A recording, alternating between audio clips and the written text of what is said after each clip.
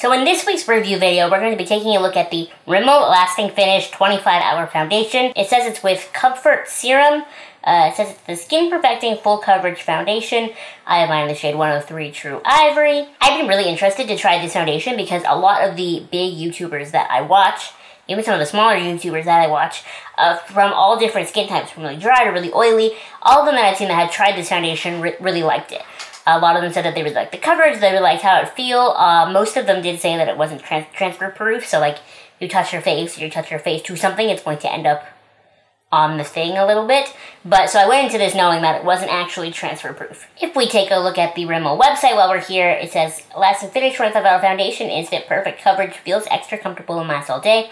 Blends flawlessly and seamlessly, instantly and easily into the skin. Sweat, heat, humidity, and transfer proof for 25 hours.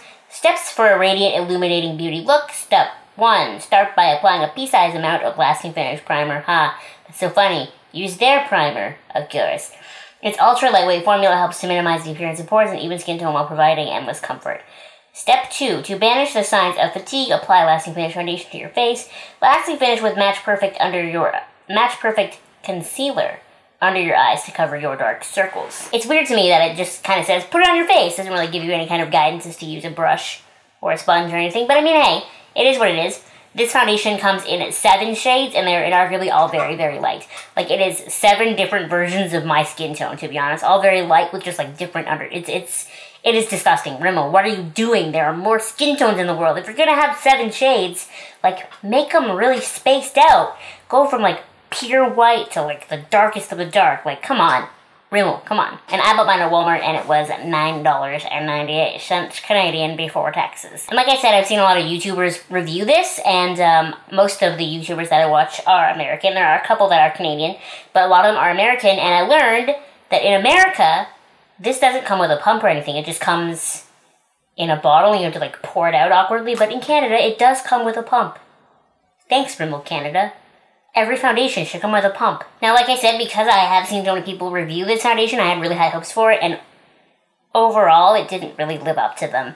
I mean, I don't hate it, but I wouldn't rebuy it. I definitely have other drugstore foundations that I like better. It felt like no matter what primer I used, I do have the Rimmel Fix and Protect. I have a, a review on, on my channel, actually, if you want to see that. But I used that primer, I tried one of the silicone primers, I tried a hydrating primer, and no matter what, it always kind of felt greasy on my face. I always, maybe it was because it's not transfer proof and it says it's sweat proof, but it just didn't feel like it. Even on the dry areas of my face, it felt like, it felt greasy. And I really felt like it settled into any lines on my face and really accentuated all of my pores. Especially on my forehead, around the sides of my forehead, like and my temple area, I guess, where pores typically aren't really big and really aren't very visible. I felt like they looked really big and, re and really visible and I just, it wasn't, it didn't sit on my skin as nicely as I wanted it to. The other claim this foundation makes that I found to be blatantly untrue is that it's full coverage.